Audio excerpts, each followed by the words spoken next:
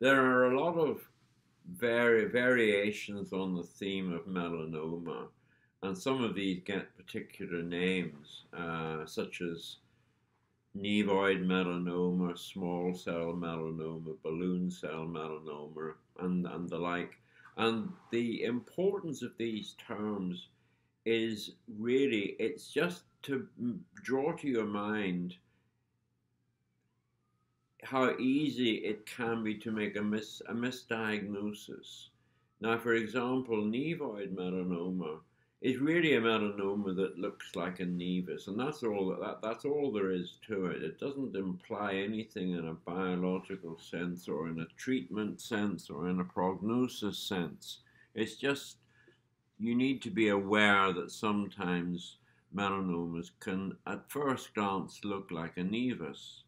Now, the problem's a little bit more complicated than that because uh, it used to be taught that you got your nevi when you were an adolescent or in your 20s, and that anything that developed after that was not going to be a good, particularly good news. And uh, to some extent, that's true, but on the other hand, elderly patients sometimes do develop new nevi that are quite benign, so you have to remember that as well. But the prototypical nevoid melanoma is something that develops generally in the elderly patient. And the, the commonest appearance is of something that's got a verrucous or a warty appearance. And this, this, this low power view is a, a perfect example. Uh, that, that they sometimes arise on the scalp. So if you get a clinical history of a patient in their 70s with a new warty lesion on their head and it's melanocytic, then you can be pretty sure it's actually going to be a melanoma. Although you you may have to look at it a, a little bit more carefully, but even at this magnification, you see that there are there are clues, and um, the first clue is it's verrucoid, so that's that that's part one. And then the second clue, when you look at it, is it's absolutely solid blue. There are no, there's no spaces in between. So those cells are expanding the papillary dermis and completely filling it. So you have this blue, warty tumor. If you know it's melanocytic, that makes you, you're even closer to the diagnosis of melanoma before you even look at it more more more uh, closely. Now, if we enlarge this slightly, and uh, whoops, uh, uh, sorry, I'll just bring that down. I have to, it's gone now. Here we go. I'll bring that down, and one, you see, you don't, you don't re- you hardly re- really need to look at it any more than that because it shows all the features of nevoid melanoma. The uh, the whoops, yeah, that is fine actually. The papillary dermis is absolutely stuffed full of cells, stuffed full, and the epidermis is stretched. So you've got this almost fenestrated acanthosis of the epidermis and all the dermal papillae and the superficial dermis are stuffed full of little blue cells. And what you can see is even at this magnification, the blue cells at the bottom are exactly the same as the blue cells at the top. So there isn't any maturation. So you've got a, an exuberant melanocytic proliferation that's not showing maturation. Now we'll look at that a bit more more more closely.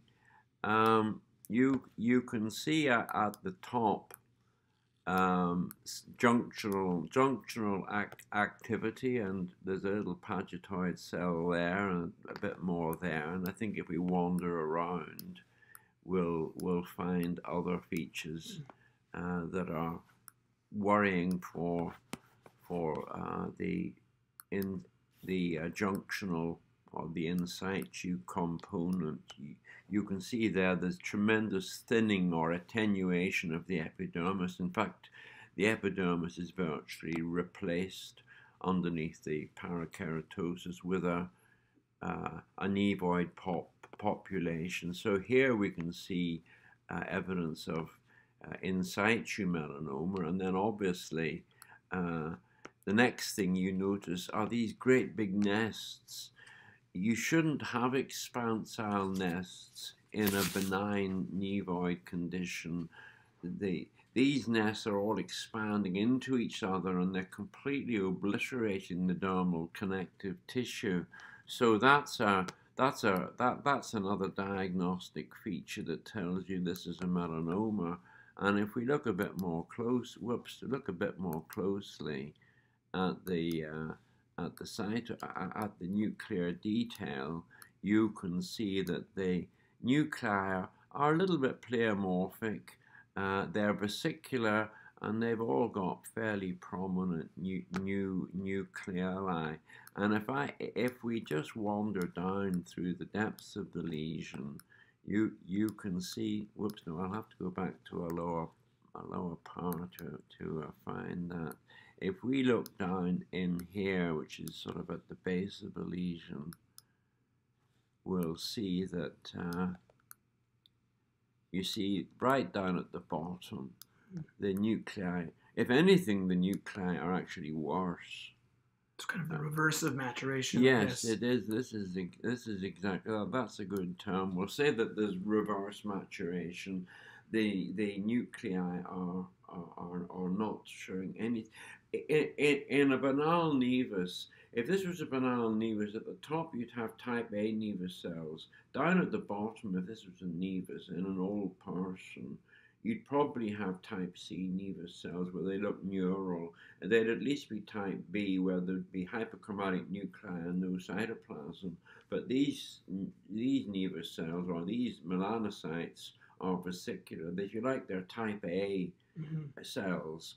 Uh, so you add all that up, and, and that, this is what it is. This is a nevoid melanoma. Now, I'm not going to go gazing looking for mitotic figures, but uh, they they they will be there if not in this section they'll be present in the next section and I don't think you need to do any immunohistochemistry on this case it's uh, that's just what it is a lot of people get uncertain and then they think gosh I need to do something so what you could do if you really wanted to you could do an HMB 45 and you'd find probably all of this infiltrators expresses HMB45. You could do a Ki67 and you'd find a, you know, a very brisk positivity, or you probably would. I find cyclin D1 is much better because mm-hmm. it doesn't stay in the lymphocytes, so you can get a more clear idea of what is uh, what is expressing that uh, uh, antibody. Is it diffuse expression or patchy? I, have not used that really. I did. I don't. Have it, it doesn't really. It, it, doesn't really matter. It's just there's too much of it. Mm. Basically, in, in a banal nevus, um, you'll get. I, I I think you can get keys. I think banal nevi can still be mitosing, sure. and so superficially you might find you might find an odd mitotic figure, you might find cyclin and Ki67 expression, but not very brisk, just here and there in the top. But if it's if it's if it, if you see it throughout, or if you see stuff at the bottom proliferating, well, that shouldn't be. So that's uh, that's a that's a nice example of what I would call a good nevoid melanoma.